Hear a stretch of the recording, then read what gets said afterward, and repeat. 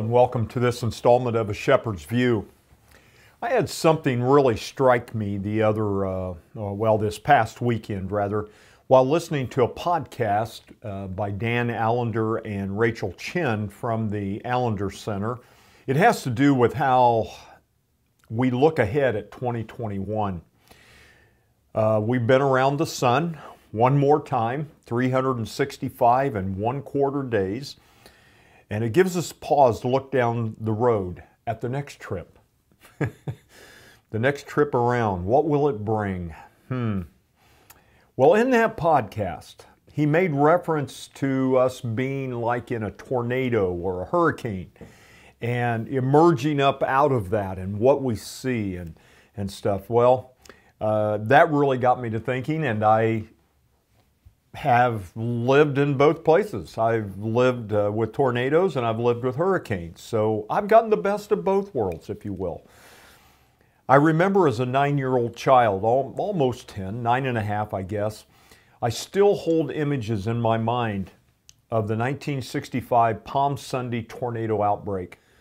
I know that over 100 people, I think it was somewhere around 140 people, but I know it was over 100 people in our county alone that died were killed in that uh, terrible event. Um, the one that touched down in our particular area was would have been considered on today's scale an F5, which is the most powerful of tornadoes. It was at times three quarters of a mile wide. At other times, it was two tails coming down. It was a huge tornado. It was on the ground for 53 miles. Uh, imagine that. Um, that particular day, that particular Palm Sunday day, uh, the tornado outbreaks uh, that happened that day is one of the top two in recorded history, stretched across seven states. Um, when we talk about it, uh, family and friends and so on talk about it that we're living during that time. Uh, that particular Sunday just mentioned Palm Sunday 65. Go on, Google it. You're welcome to do that. Um, that one was known as the Big Kahuna. I mean, we've not had anything before or since in our memories of that day. Well, as we emerge from this crisis, it's kind of like crawling out of a storm shelter or out of the basement. Uh, you have no idea what you will find. Everything in your area may, it all may still be intact. Uh, it was amazing for us. Uh, we were about a half mile or so from neighbors that were totally wiped out. Um, if I remember correctly, we had very, very little damage, maybe a branch or a limb here or there. I don't know. You may emerge from this crisis that we're in right now totally unscathed, and yet your neighbor uh, may have been totally obliterated through it. It's a time of wonderment. I think as we assess this time, it'll be a time as we as people crawl out of the storm shelters, crawl out of the come out of their basements or out of their dwelling places and look around. It will be a, a time of wonderment. As we look, uh, I know in a storm, you look and you look around and you go, how did that get moved from there to there? Or how did everything around that particular piece blow away and it's still there? I, I don't know. There, there's just all these odd and weird things that happen during difficult times like that. What am I saying today? Well, as we come out of this viral storm, it will be very much like emerging from a hurricane or a tornado. I hope we do that this year in 2021. I'm not going to make any predictions. I refuse to do that. I don't think we know. But as we look forward and we hope for that time, I believe we're going to be amazed at some things. There will be things that will literally be untouched. There will be families that have been untouched. There will be organizations and things that will be untouched. Yet on the other side, right next to that, will be things that have been absolutely destroyed. It'll be a time of assessment. It'll be a time in how we rebuild and what we should rebuild. I remember on one of our properties uh, as a kid growing up, uh, Grandpa had this old barn. It was an old bank barn and really wanted to tear it down. It was kind of dangerous and for some reason just didn't get around to it. Um, however, a windstorm one night took care of that and brought it down and, and it was, uh, was in a heap. Um, so, eh, that worked out okay. All right. So there's going to be things out of this that we're going to look at and say, well, I'm kind of glad that I've been wanting to get rid of that for quite a while. We're whatever it may be. Um, remember Andrew though. You've lived in Florida very long, even if you didn't live in Florida, you remember Hurricane Andrew. I don't know if you realize this, but there is not a structure built in the state of Florida today that was not impacted by Hurricane Andrew. What happened after Andrew was a gigantic reassessment on how things are built, specifications, and what needs to be done with it. Katrina has also contributed to that. So there will be some reassessing, reassessing in how we handle things, do things, and how things are accomplished. Um, and some of those reassessments and some of those things will be very, very good and will help us in future events.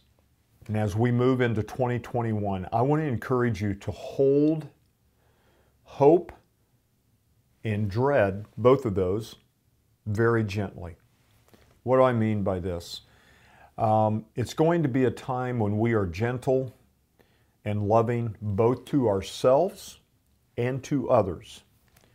It's a time when we need to be kind. When a tornado has just blown your house away, you don't need someone standing there telling you, you know, you should have built that house across the road.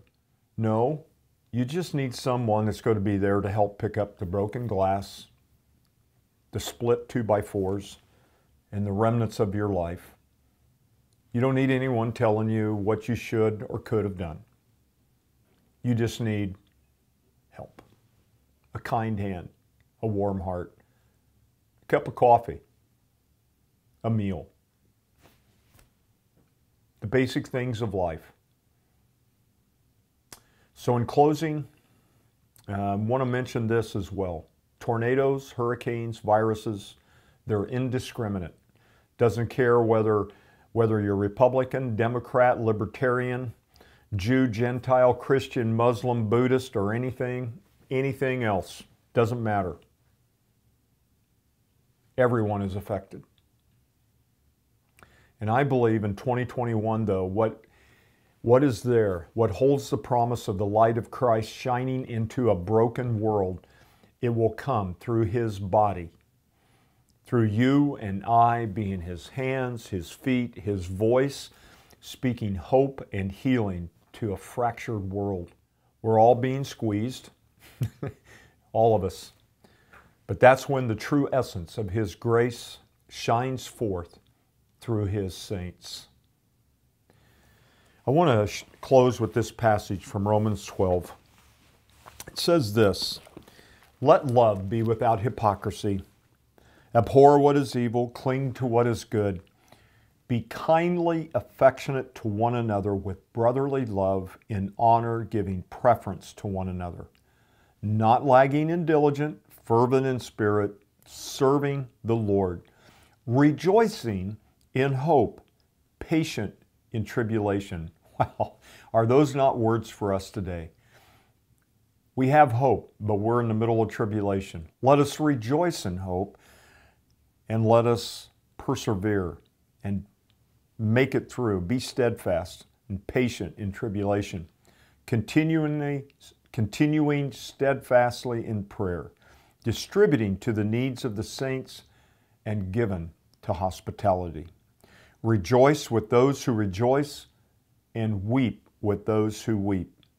Be of the same mind toward one another. Do not set your mind on high things, do, but associate with the humble. Do not be wise in your own opinion. Repay no one evil for evil, but rather give place to wrath. For it is written, Vengeance is mine, I will repay, says the Lord. So even if let me say this even if your enemy next to you gets taken out, here's, here's what Paul says and the Bible says. Quite frankly, God, Jesus, all of them said this If your enemy is hungry, feed him.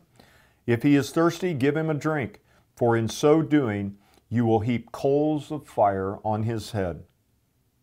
Do not be overcome by evil, but overcome evil with good. May that be our guiding light this new year, 2021. Let's pray. Gracious Father, we look to you. This is our prayer today that we will be kindly, affectionate, caring, loving one another. Father, my prayer today is that we indeed will emerge from our shelters, emerge out of this. I pray that uh, this time next year, if this earth is still circling the sun, that we will be on the other side of what we're experiencing today. That hope will be realized. But Father, in the meantime, may we be kindly affectionate to one another. May we love one another, and even when our next door neighbor may not see eye to eye with us, may we still reach out a hand in hospitality and care and love. We need each other. Help us to be gentle and caring in this very difficult time. We ask this in Jesus' name. Amen.